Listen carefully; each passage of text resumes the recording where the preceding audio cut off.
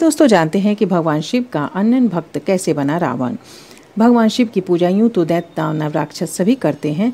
रावण एक महान पंडित और ज्ञानी था जो भगवान शिव की पूजा किया करता था। एक बार की बात है कि ऐसा कहा जाता है कि एक बार रावण पुष्पक विमान से बैठकर यात्रा कर रहा था तो रास्ते में एक वन क्षेत्र से गुजर रहा था। उस दौरान उस वन क्षेत्र के पहाड़ पर शिव जी भगवान अपने ध्यान में मग्न थे।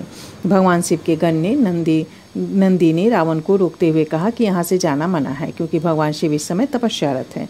यह सुनकर रावण को बहुत गुस्सा आया और उसने नंदी का बहुत अपमान किया। और उसके बाद जहाँ भगवान शिव पर्वत पर विराजमान थे ध्यान मग्न थे, उसे ही उठाने लगा। यह दृश्य देखकर भगवान शिव को गुस्सा आ गया और उन्होंने अपने अंगूठे से पर्वत को दबा दिया, जिसके कारण रावण का हाथ भी दब गया।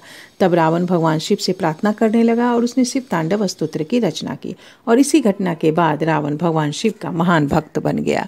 जय शिव शंभु, जय भोलेनाथ।